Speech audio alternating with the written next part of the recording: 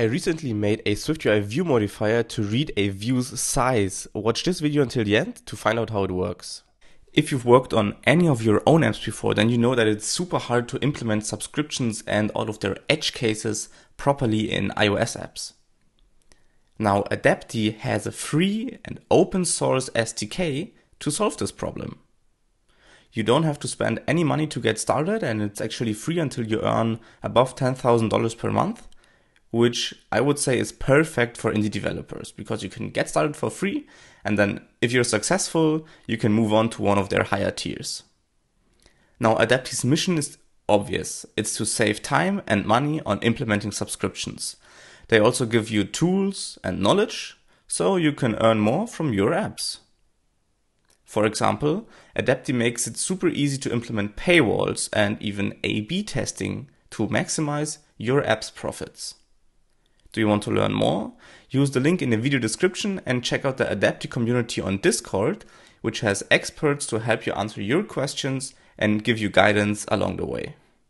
So right here, I already have the completed project open basically. So let me quickly walk you through how this view modifier works and how you can use it in your code. And then we will build it step by step throughout this video. So watch until the end to build it yourself and use it in your own projects. Okay, so quickly going over the setup here.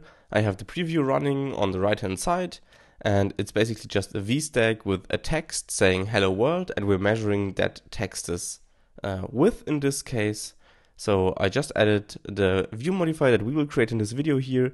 It's called measure size. It gives you back the size of the element that you applied it to. So in this case, the text of hello world with a zero padding, and I'll get back to that padding in a second. And then it will assign it to a state variable. This is just to simulate how you would use it in your own apps. Now, of course, you not always want to assign it to a state variable. You might want to compute something based on this or whatever. And then below that, we have a second text element just displaying the width uh, double, just so we can see visually without having to use uh, print debugging or anything like that. So I've added this particular padding here with uh, with a value of zero, just so we can play around it here, around with it here. So currently the width of this uh, text element here is 94.6 uh, repeating. This is points, I would believe. And then if we increase the padding here and rerun this thing, then you will see, of course, the value increased as well. And then if we increase it even more and rerun, then you will see it increases even more. Okay, so it does work and it does reflect the actual size of the underlying view. Now, why is this important? The alternative would be, of course, to just use a plain old geometry reader wrapping all of your elements, and then in there you also have access to a proxy size, and that way we can also read the width. But as you can already see in the preview here, we're running into an issue. And if we go into the um, into the still preview here, you can see that while if we click on text, the view is just this small size here right around the text. But if we click on the geometry reader, it actually is greedy and it takes up the entire screen space.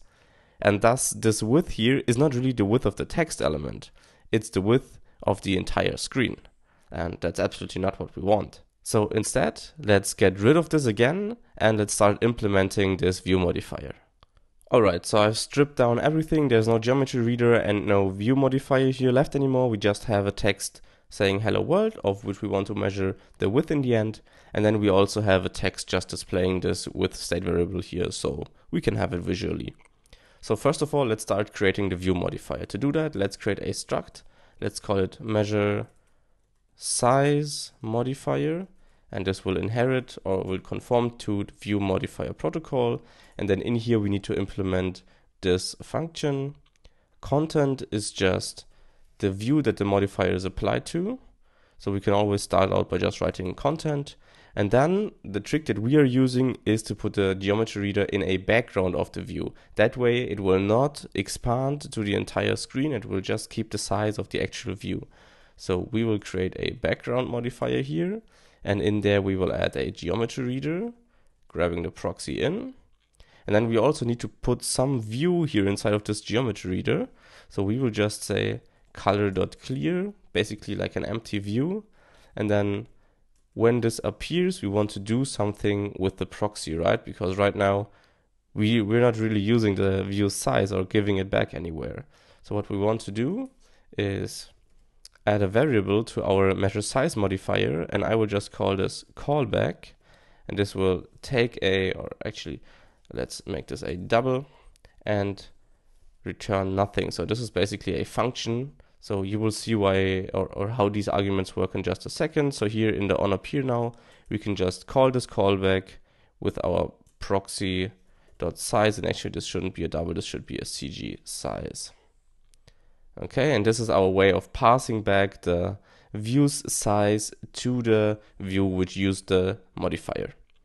Now, of course, to make it a bit easier, we don't want to always manually apply a uh, view modifier to our view. We can create an extension on the view protocol. And in here, we can write a function called measure size. And this, once again, we need the callback. So this is a CG size returning nothing and this is actually escaping. And then in the end this thing returns some view. So this is basically now uh, our way to chain this to other view modifiers. And then uh, what we return here is just a modifier with our measure size modifier pass over the callback and that way our setup is already done. Okay so very simple stuff. And now to use it in action we can just go to our hello world text, say dot measure size. We will get a callback in here. So this is basically corresponding to our callback here at the top. All right, so this is what we're passing into the function here, which then gets passed to our view modifier, which then gets used in the onAppear method. Okay, so just jumping through the code here. And then, of course, we can say we get the width of the view or we get the size of the view now, we can say our width variable is the size dot width, and then you will see in this case it's 94.6 repeating points in size. And then of course if we add some horizontal padding, this value will increase, and if we increase the padding, of course it will also increase. Do you want to learn more advanced SwiftUI tips and approaches? Then subscribe to the channel, and I will see you in the next video. Bye.